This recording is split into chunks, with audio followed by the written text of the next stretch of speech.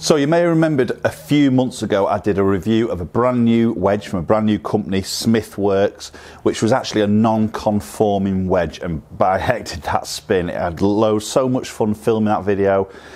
Clearly it was non-conforming, can't play with it in competitions, but it was really good fun for me. The type of golfer who just wants to have some fun and spin those balls back on the green.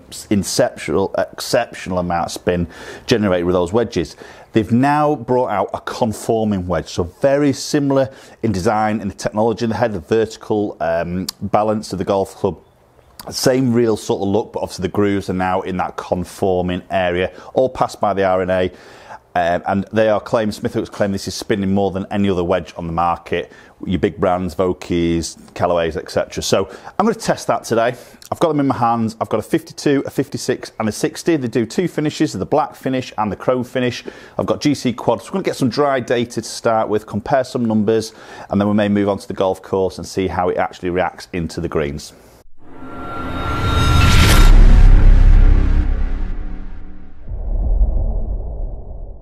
Okay, so I'm going to start off. I've set myself up about 96 yards from the green on the GC Quad on simulator. Going to hit some shots with my 56 degree, which is typically around that, just short that 100 yard sort of mark and a sort of smooth 56. Got uh, TaylorMade TP5X balls, which is what I play with. Feels lovely off the club face. Feels grippy. Be interesting to see how that sort of reacts yeah, that's stopping pretty quick. That spun it, yeah, just sort of over that 10,000 mark.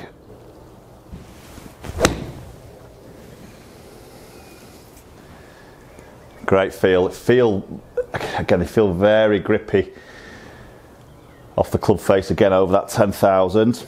The look of these wedges is very different, as you can appreciate. You know, the grooves go right to the end of the golf club. We've seen that maybe some other manufacturers there.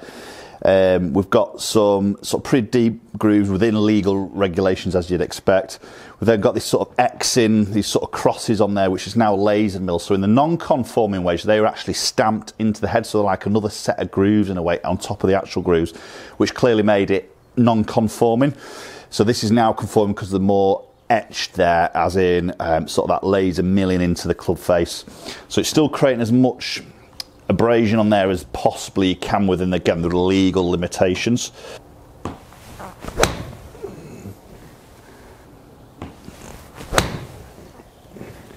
That's a little bit low in the club face. I expect that to maybe just spin a touch more. Yeah, quite similar actually, just sort of over that 10,000 mark. It hasn't actually changed there. Sometimes you get those real low ones in the face, you just see them nip a little bit more.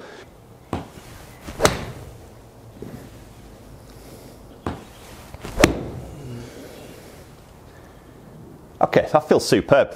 Love the feel of that. So I've got these in the bag at the moment. I'm playing with these because I'm quite enjoying them. Um, again, 10,300. So, so consistent on that spin number there. And in an area that I would typically like to sort of see it. So I know that hitting into a flag, if that flag's tucked behind that bunker, I've got some real good stopping power there. Right, okay, just had to take my top off, getting a little bit warm down here at Lytham, which is nice. Um, so now switching into the Cleveland RTX4 wedge. So just want to hit some shots with this and uh, same loft and just get a comparison to the spin number. So this is a a wedge that's literally been hit an odd couple of times, so pretty much brand new, very fresh grooves, same loft at 56 degree, and obviously the cleave and the RTX4, a lot of circular milling, which is the Rotex, so we've got milling across the grooves, maxed out grooves, then circular milling, so it's all about, again, roughness of the club face, so I thought this is a really good test to put the Smithworks wedge up against.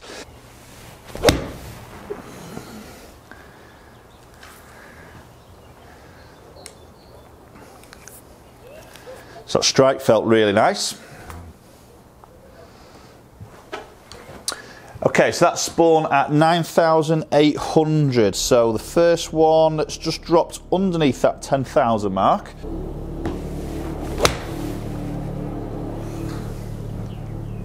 Again, feels great. Nothing wrong with the feel off that wedge. That particular one, again, 9,800. So consistent, but straight away a little bit less spin compared to that Smithworks.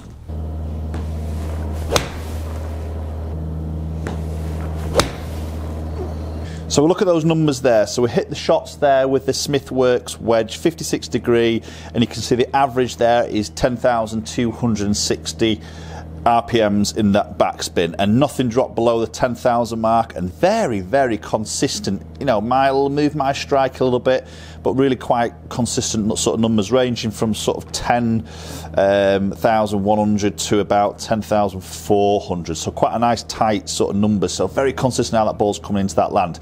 Moving into that Cleveland RTX. So again, pretty consistent, but in a slight lower bracket. Didn't get one above the 10,000 spin number and averaging there at 9732. Last one can see just dropped off a little bit more.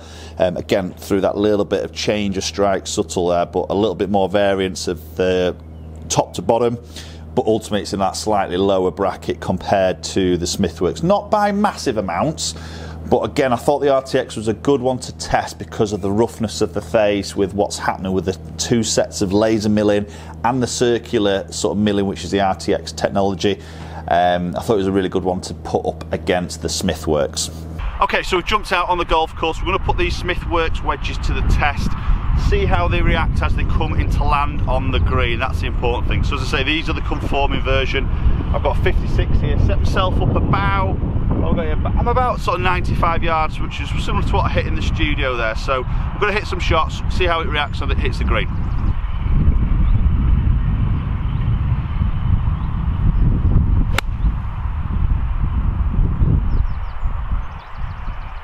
Okay, not a bad opening shot there. That felt really good off the club face.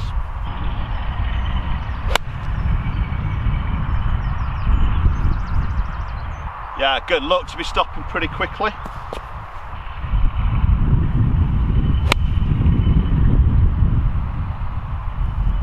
Okay, so they're feeling pretty good. So let's talk a little bit about technology in the club, and there's quite a bit happening in this uh, Burkes wedges. So first of all, we're going to start a little bit about their main bit of technology, which is called uh, vertical balance. So this is where the moving weight more up the, the blade length, so more towards that top edge. You probably see the top edge of the club is a little bit thicker there. That's basically where the more weight is. So reposition it from that bottom, more up that club face. So what that is basically doing is moving that centre of gravity higher up the club face. So generally with a wedge, you'll strike it more lower in the club face. So when you strike it below the centre of gravity in the head, the ball tends to come out a little bit lower, but same theories as with a drive, when you strike it low in the face, it packs more spin on it, and this is what this is about, it's getting a little bit more extra spin and grip around that green. So strike it low CG, just gets that launch a little bit lower and just gets a little bit more spin involved. So to do that and reposition the weight, they've got those three holes in the back of the head there, which obviously taking weight out, reposition at the top. We've also got some sort of uh, like shaving of metal out of the back of the hosel. Again, it's saving that crucial weight, reposition it in that club face more higher up to get that vertical balance. We've got a lovely milled sole on the on the sole of the club here, and it's sort of off in that toe and heel section. So very good, I think, when you're sort of opening the club face um, around the green, those different lies that you generally experience with a wedge, that's really going to help you out. And then also the other main aspect here is got the grooves going all the way to that toe end. So again, when you're opening the blade up, maybe coming out of rough, we tend to see some strikes get high toe, maybe as you're working the club across that golf ball. So the grooves up into, right into that toe section. Obviously we've seen that with other brands as well. Um, creates that real good grip from that toe strike that you tend to get more out of that rough.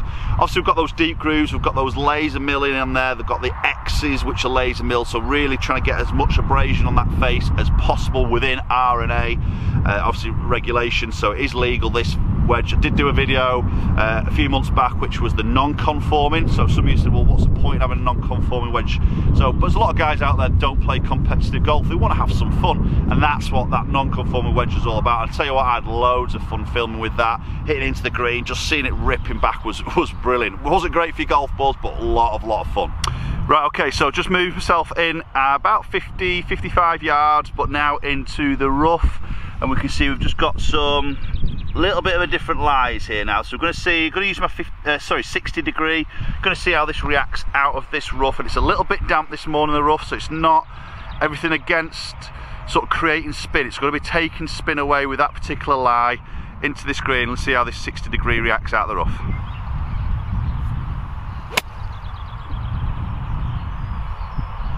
Yeah, this is a really tough test for this wedge in this particular shot because, again, the rough's damp, it's a little bit downdraft and the greens are pretty firm, so it's everything sort of going against trying to get some stop and getting that ball stopped, but it's ultimately testing this wedge. And these are situations you get into on the golf course. It's downwind, it's firm, out of the rough, it's damp, it's gonna be tough to stop that golf ball. So a really good test for this wedge.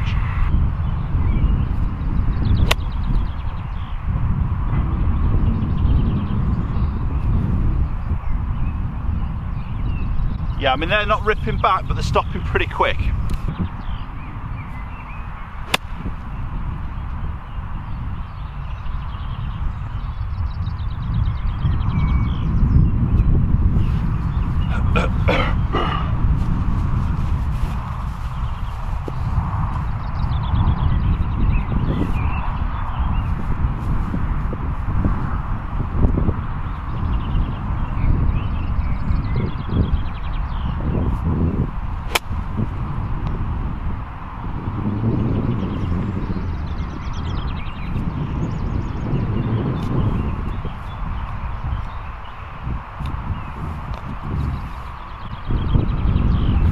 What does feel really nice with this wedge and the sole, it cuts through the grass really, what feels very, very easy. It just sort of glides through and just gets the club working through that golf ball really well. Okay, let's see what these are in and around the green.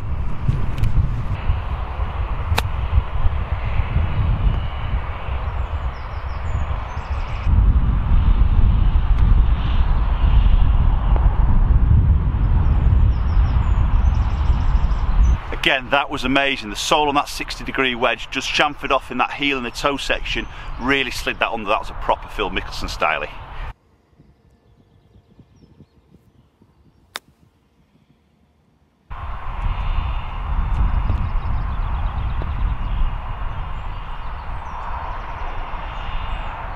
Okay, so there we go. There's the Smithworks wedges. I'm quite a big fan of them. They are in my bag. I enjoy the sort of feel they come off the club face. Love the control they get. Definitely sort of seeing in that dry test in the date, uh, sorry, in the studio, a little bit more spin than that RTX 4, which again had that R, uh, Rotex milling, a lot of milling on the club face. Seeing some good stopping power out here. That's a tough test today because I had some firm greens, downwind shots out of the rough. We're not going to get this ball ripping back, so it's all about making those particular situations on the golf course where you can get away so that can control that as much as possible. So post comments down below. Let me know your thoughts on the Smithworks wedges. Very different brand, new brand to the golf market. I'll put a little link in the description down below. You can go to the website, check them out. They sell direct online. Um, some different finishes. They look really nice, a little bit different. Back the underdog a little bit in a way, uh, but gets a big tick from me. Okay guys, thanks very much for watching, appreciate watching as always. If you haven't hit that subscribe button, smash it. Hit the bell icon to get notifications of any future videos. Follow my social media platforms, both Instagram and Twitter. And hopefully we'll catch up with you all very soon.